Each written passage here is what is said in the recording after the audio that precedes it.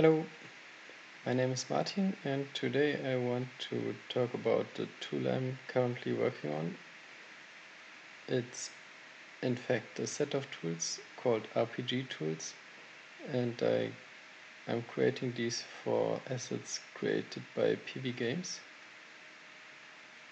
And today I will show you the current version. So it's still in development and there is a lot of stuff that needs to be done but at least you can now create a small prototype game.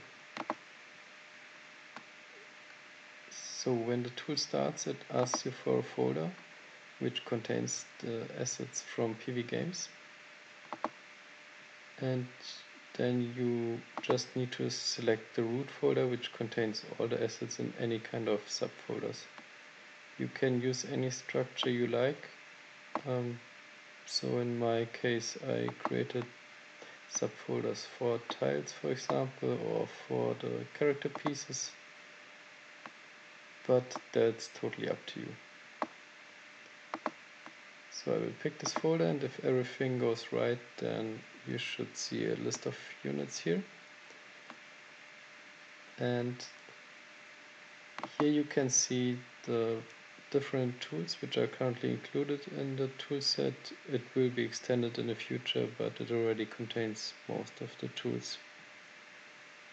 Um, by default it starts the character editor, which lets you browse through all the units which have been found in the folder you configured.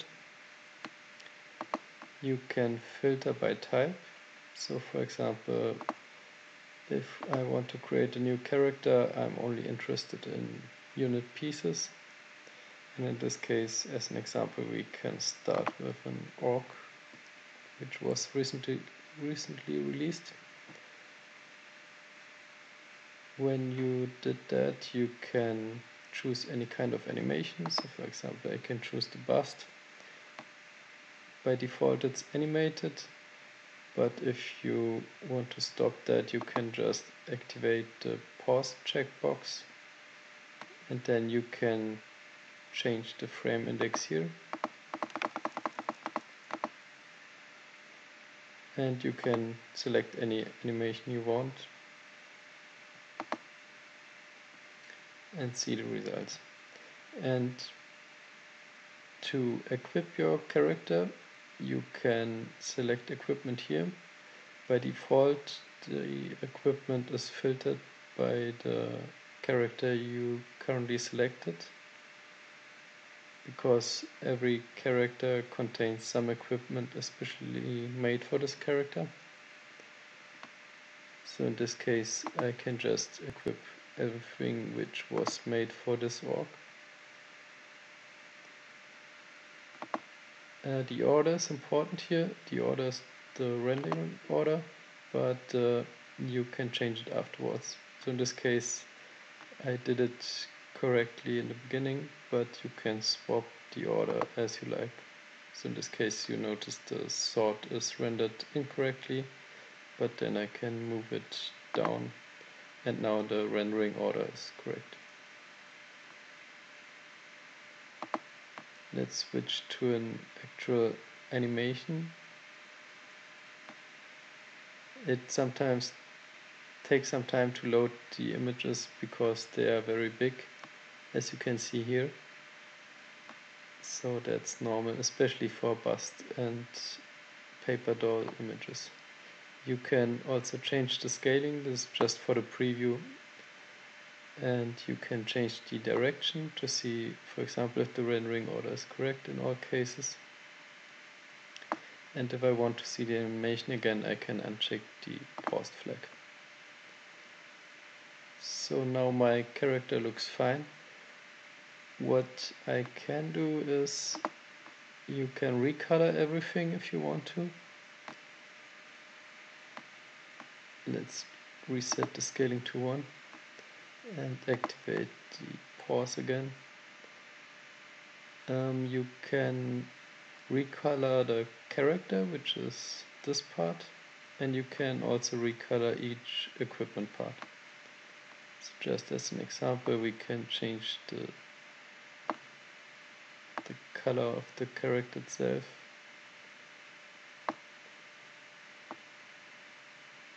to something like that. You can also make equipment parts invisible just for the preview so nothing of that will be saved. Now it's easier to see the actual result resulting color.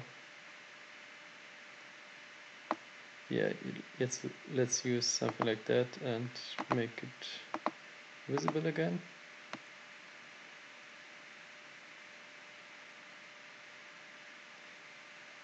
And now I can save this character. So when you save a character, by default it should select the folder data characters and then you can enter the name. Let's say it's an orc knight male. And then you click on save and it just saves a JSON file, which is just a text-based file which contains all the information you entered here. And now we can create a second character, maybe we use a female archer in this case. We should reset the equipment here, by default it uses the existing equipment, but you can reset that and choose something from here. If you uncheck this checkbox, you have tons of options.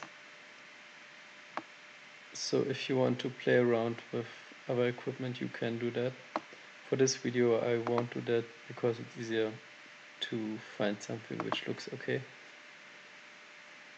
So let's give her some equipment and some health. Okay, like that. So, and as an example, to recolor one of these parts, I will recolor the hair. You can also play around with these values. It's Uh, a hue saturation value. You can Google that to get a better explanation. But you can see the effect directly. So let's give her something like that. And then you can double check with a normal animation if the rendering order is correct.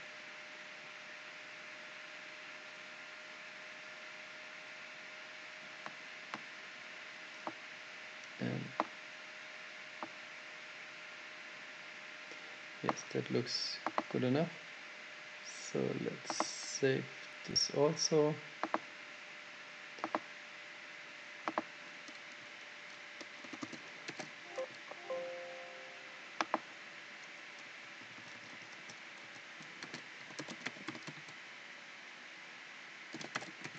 orc archer female. So, and these are already the most important parts regarding the character editor. Um, oh, one thing that's very important, of course, um, so if you use a different engine, then the most important feature for you is to export characters. Um, so you just need to click on Tools Export um, and there are different modes. By default it will export every frame to a separate PNG but I guess most of the time you want to export sprite sheets.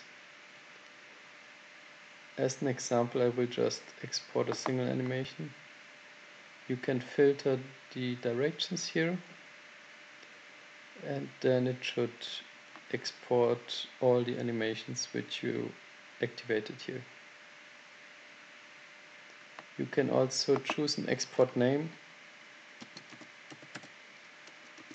because by default it will use the name of the character here.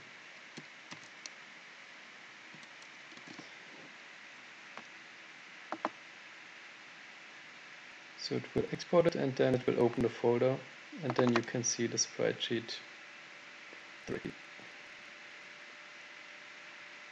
So every direction is in a separate row, so you have eight rows and every column is a separate frame. So that's the easiest way to export sprite sheets. There is also a new mode called custom sheets where you can define more details. I won't show you that right now, but uh, this gives you more control about it.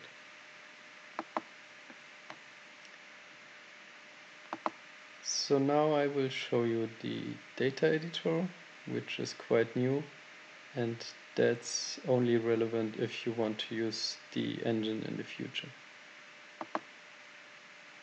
When you start for the first time it will ask you for a folder which contains the icons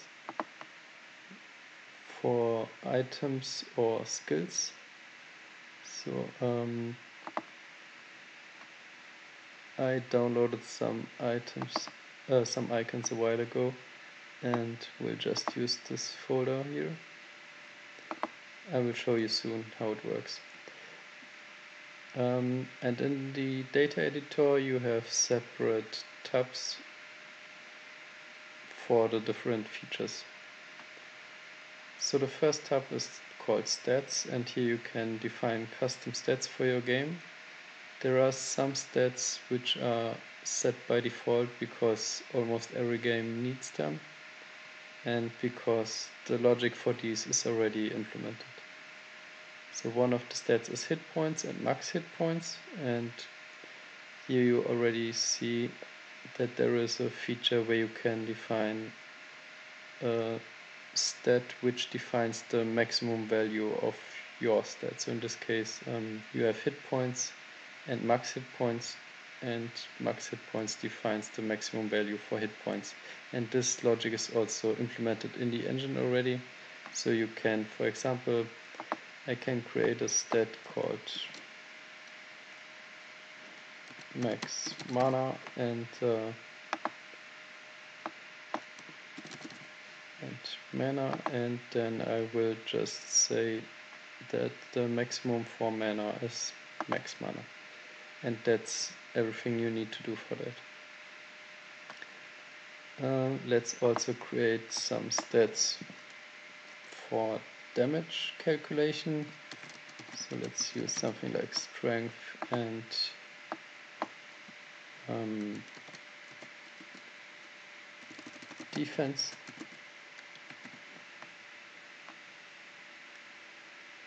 And when you save here, it will save everything in all these tabs. So make sure to do that often. there is also an auto autosave feature, but um, it's better to do it here. Then in the second tab you can configure the experience curve, so how many experience points you need for each level. So let's create some levels. Um, currently the first level needs to be 0 because you start with level 1 and then you can say how many experience points you need for the level 2 and level 3 and so on and you can see the curve directly while editing everything.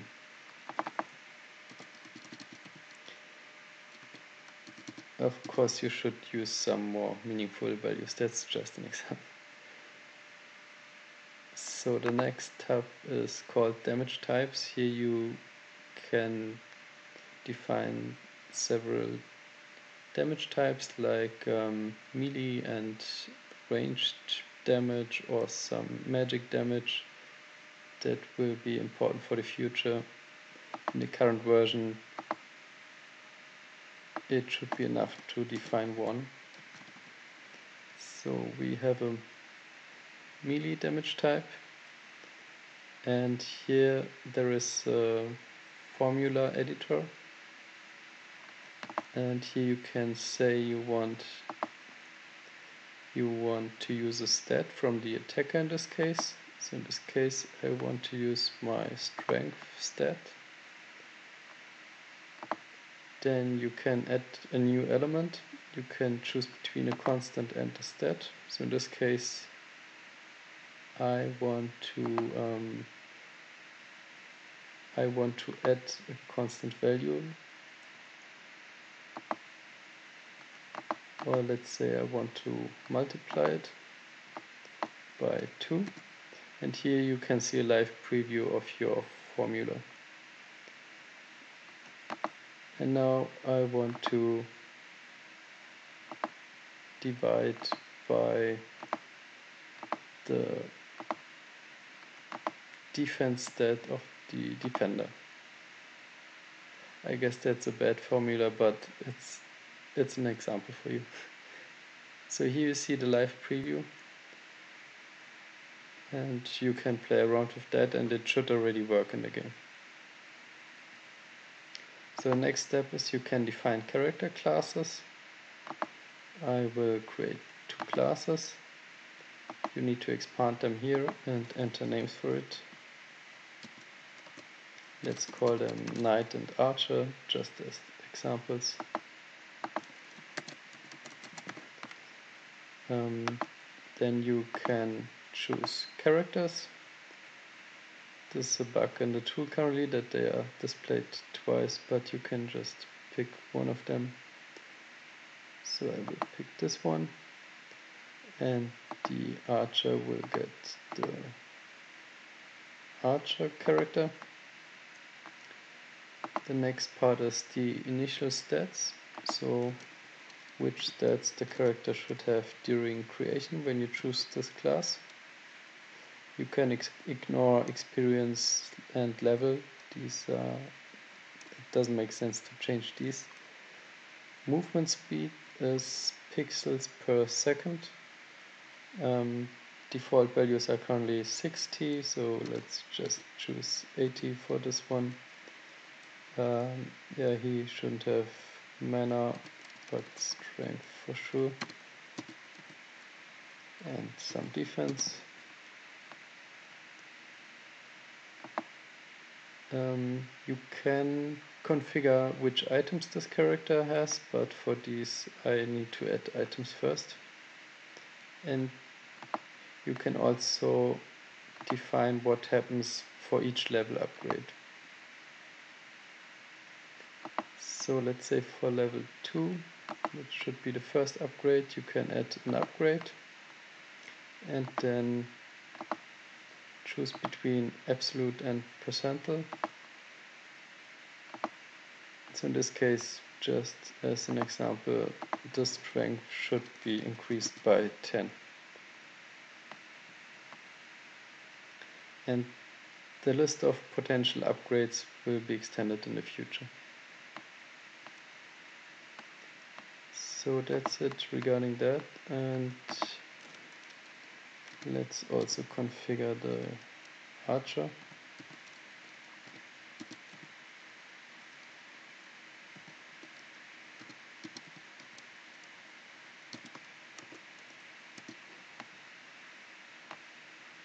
Okay so the next tab is called resources. It doesn't have any effect now but it's saved and loaded already. So in my case I just need gold and nothing else. But this will be used in the future for sure. So uh, and the last tab is called items. So for items we have two different slots. One is called item slots and one is called equipment slots. Um, Equipment slots is every slot you see in your equipment UI. And item slots is the category of the slot. So, for example, you can have you can have two rings in your equipment.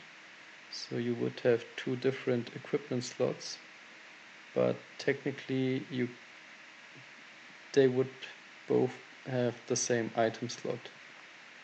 So you would have one item slot called ring and then you would have one equipment slot called I don't know the best name for it but let's call it main ring and secondary ring and both would use the same item slot, which means you can equip rings in both slots. And for our weapons, we should use um,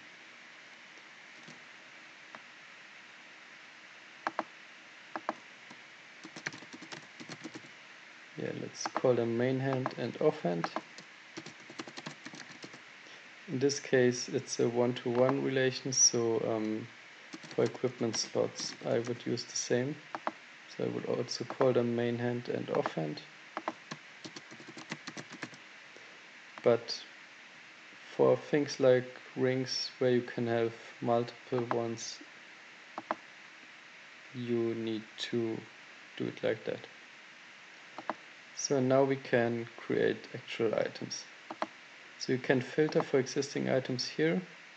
I don't have any yet, so it doesn't make sense. Um, and now you can create items with the add button and then just say I have a heavy sword. And now you should be able to browse for an image. Okay, I need to fix it in the tool that it should automatically select the folder which you have configured for your icons. Because yeah you definitely need to do it because it stores it relatively to that. But for now I will just navigate to it manually. So this one is the folder. Now I will choose one of these.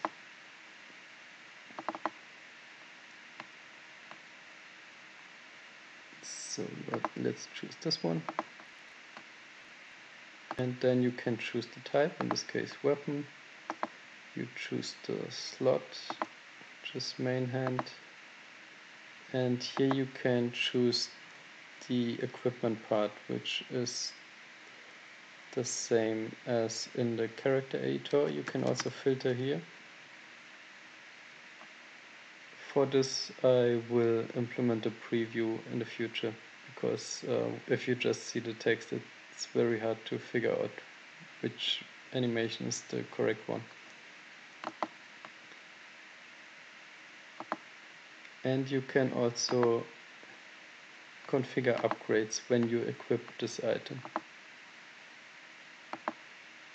So just as an example, this sword should increase my defense by 20. And then you can select the damage type. We only have one, so but of course you can have the range damage type or other damage types in the future. So that's it regarding the data editor for now. Now we will switch to the level editor.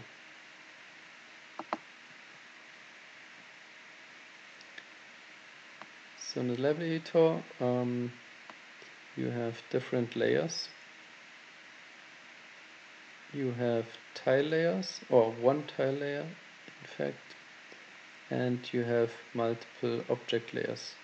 By default, um, the tool creates a background layer and an objects layer, which are both object layers, but the background um, layer is meant as a layer which is rendered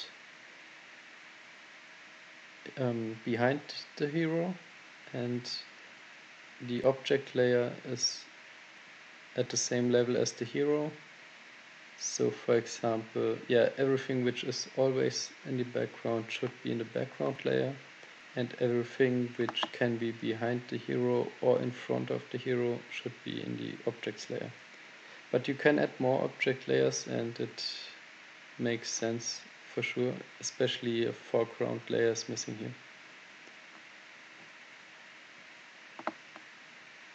So let's start with we um, deactivate the grid because we don't need it currently. Um, we start with tiles. So in the tooltip you see the file name and you also see a description. With left click you can place a single tile and with right click you can fill the whole level. So let's just fill the whole level with with a tile that looks good for now. Yeah let's pick this one and I just want to show you an example. If you want to want to create some smaller places inside of that um,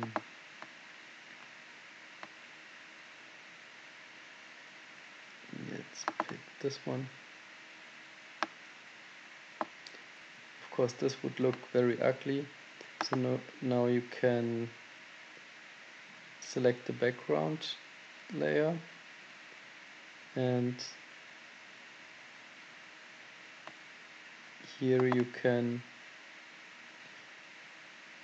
you can use um, the decals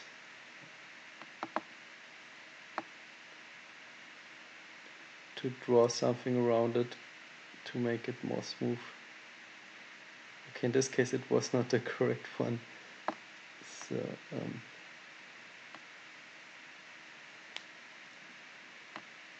so next time I would look up the correct decal graphics but I guess you get the idea. Um,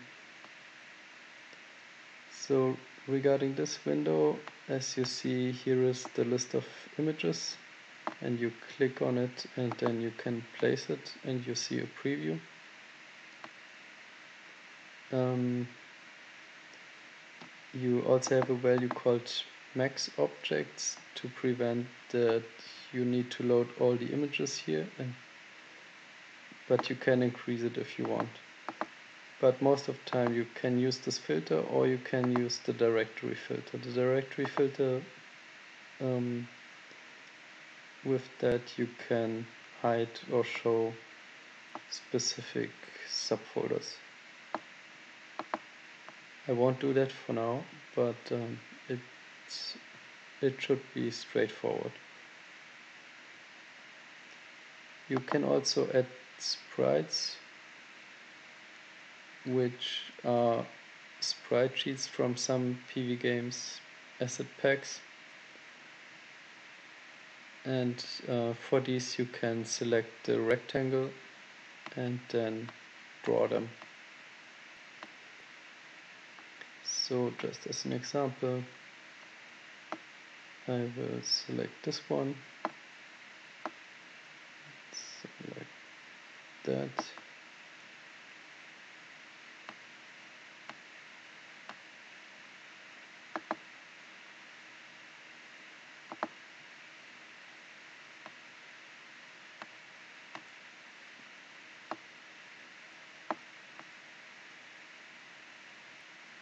Okay, something is broken here, I need to check that. So usually you should be able to place them now, but for some reason this doesn't work. Sorry for that.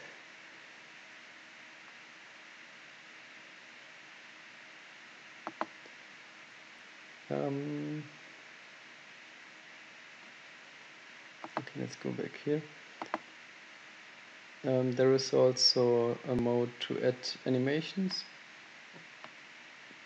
These are some special images from PV games which are already animated like this one.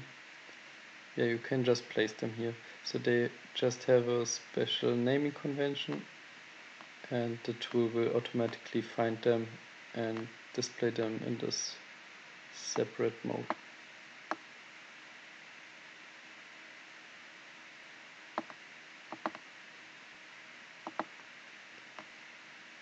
okay then this one is very important if you want to develop a game with the engine. So here you can place all the units. You can also use the filter or you can choose a character. So I could use one of the characters we created here. So just as an example, I can place this orc here.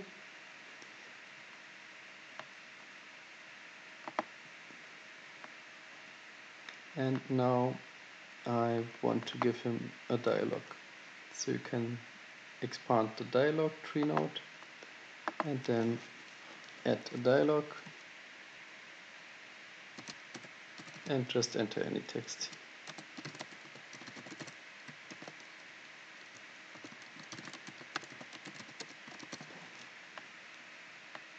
So if you just want to have a very simple dialog like that, that's already enough.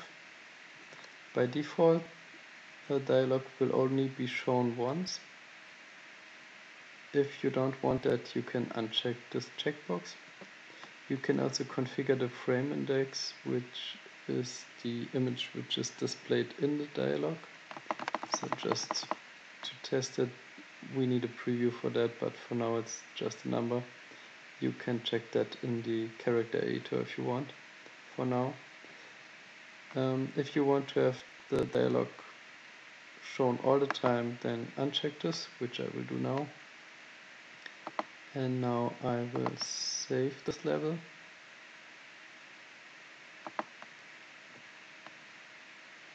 Yeah I just reworked all the dialog browsers to use the Windows folders uh, the Windows dialog browser but uh, I need to choose the correct default directories in some cases I will look into that so you should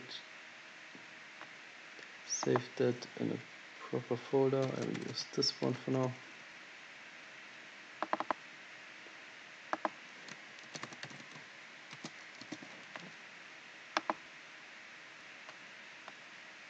And now you can check if everything works. So if you click on Tools Play, you can test the game in the level you are currently editing.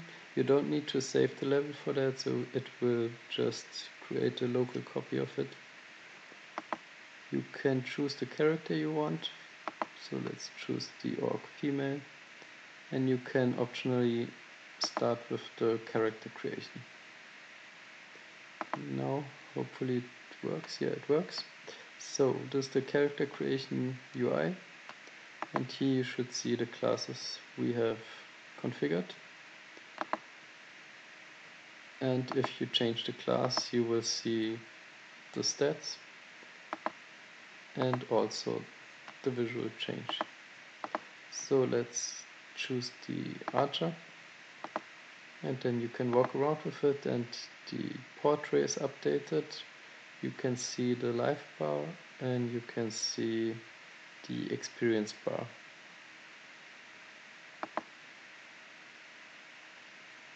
you can also hopefully see here uh, yeah now the hero is behind the fire object and now it's in front of it so it's automatically sorted by the y coordinate. Now I should hopefully be able to talk to him. Okay no I'm not. And you can stop the play mode by pressing escape. So now um, what's also important if you have an object which is already in the level then you can go to edit object to, to edit the values of it. And then you can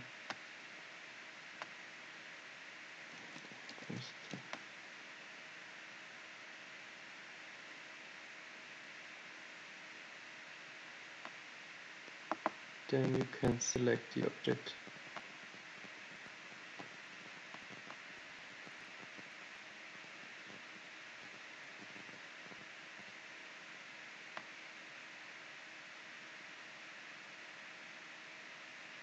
Okay, that's bad. okay, sorry, this crashed. Let's start the tool again. Yeah, as you can see, the tool is still in there is still a lot of stuff to do.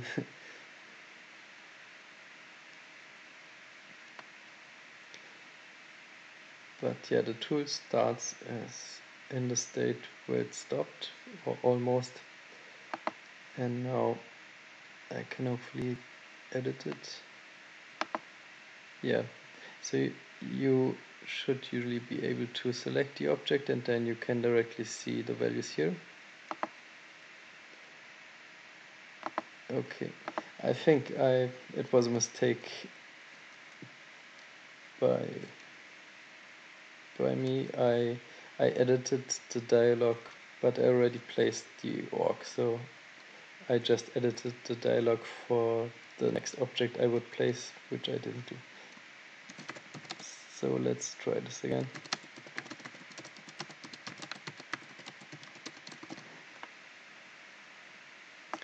And set the frame index and deactivate the show once. So let's save it and play the game.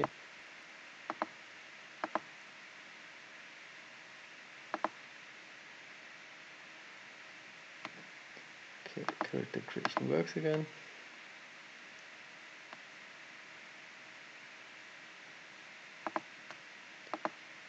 So, yeah, now it works. okay. So for simple dialogues like that, you just have an OK button and then it should close. Okay, which also doesn't do. okay, I need to check that too.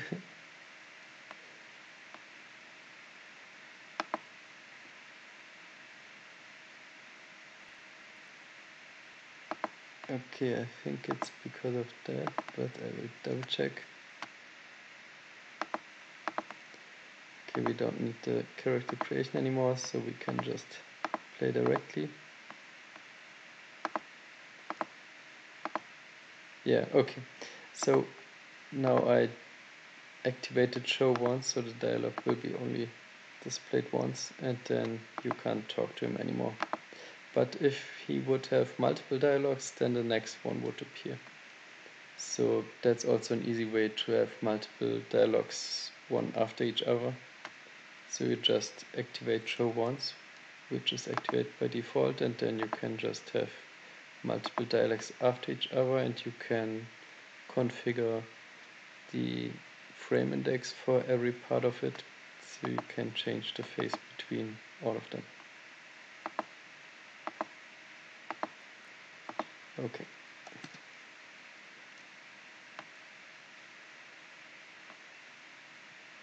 Um, so now we can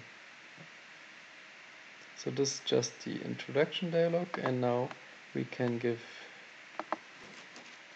give the player some options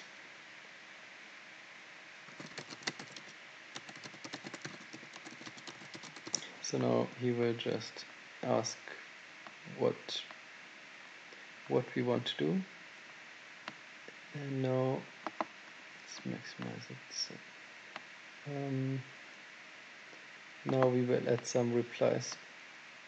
So you can just add multiple replies and I will just show you how you can have some actions like increasing experience or something like that.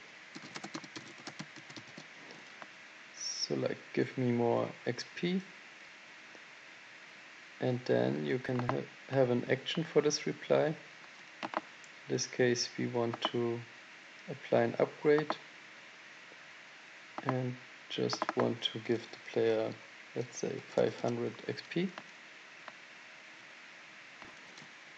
and the second one is give me more move speed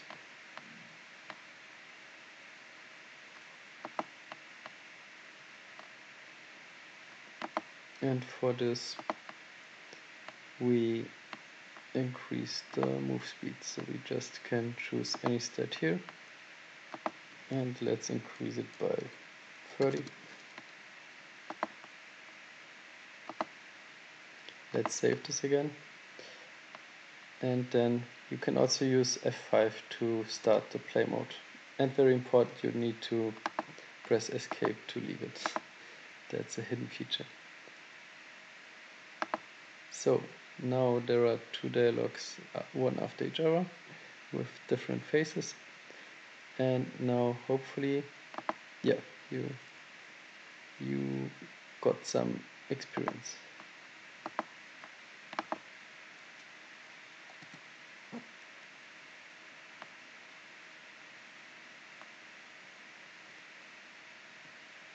Okay.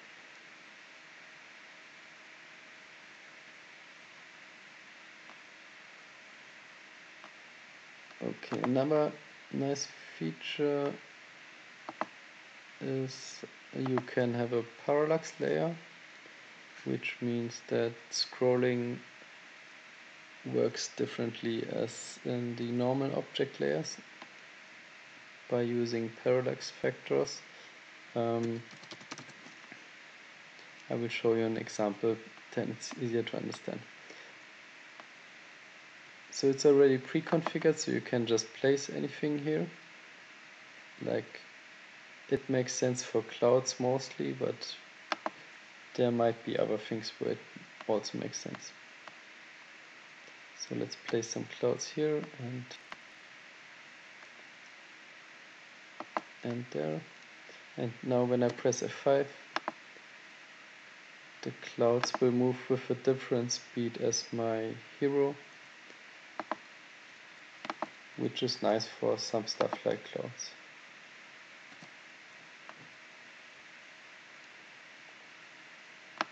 So then we have an area layer. Here you can create areas and give them a name. For example, I create an outpost area, I can give it a color and a name, and then I can create it like that.